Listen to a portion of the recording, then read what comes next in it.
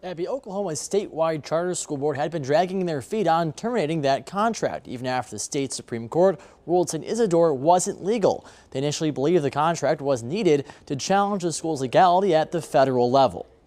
Well, I, I was actually mistaken. Our attorneys uh, uh, actually clarified that for us and saying actually it, it doesn't change anything because the, the appeal is in place. The Attorney General has threatened a contempt charge when that board left the contract in place.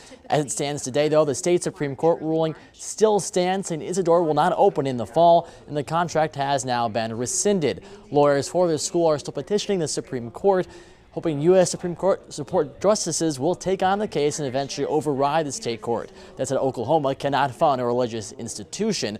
While the contract has been tossed out, the board did vote to reinstate it immediately if St. Isidore wins their legal fight before the U.S. Supreme Court.